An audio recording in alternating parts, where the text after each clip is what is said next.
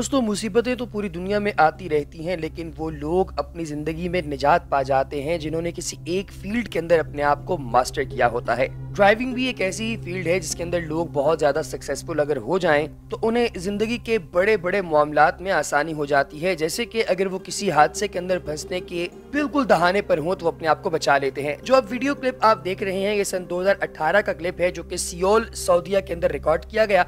दोस्तों, यहाँ पर एक सहराई इलाके के अंदर, दरिया में तुगयानी आने के बायस सैलाब आ गया। और यहाँ पर लोग आम तौर पर जीप सफारी किया करते हैं, यानी कि जीप के अंदर बैठकर इस सहरा के क्रॉस चक्कर लगाया करते हैं और यहाँ पर बुद्धुओं का, यानी कि जो सऊदी अरब के आम लोग हैं, इन लोगों का ये सबसे अहम मशगला है। लेकिन दोस्तों, इस क्लिप में आप लोग देख सकते हैं कि बहुत तेज तूफ़ान किस्म का सैलाब उमड़ आया और लोग अपनी गाड़ियाँ, यानी अपनी पजारों वगैरह भगाते हुए इसके बाहर निकल आए। पानी लगातार आता जा रहा था और लोग अपनी गाड़ियाँ तेज़ी से भगाते हुए इस पानी से गुजार कर दूसरी साइड पर, जिस साइड पर खुशका था, वहाँ पर लेकर आ रहे थे। लेकिन दोस्तों, एक गाड़ी जो है वो इस पानी की दूसरी तरफ़ रह गई, जो कि काफ़ी अंदर गई हुई थी सहरा के। उस गाड़ी का ड्राइवर जो है, वो वापस पलटा। थोड़ी देर के लिए उसने गाड़ी रोकी। ये देखने के लिए कि आया वो बच भी सकता है या नहीं, या उसे गाड़ी यहाँ पर छोड़नी पड़ेगी। लेकिन दोस्तों, फिर उसने अल्लाह पर भरोसा करते हुए गाड़ी का एक्सीटर दबाया।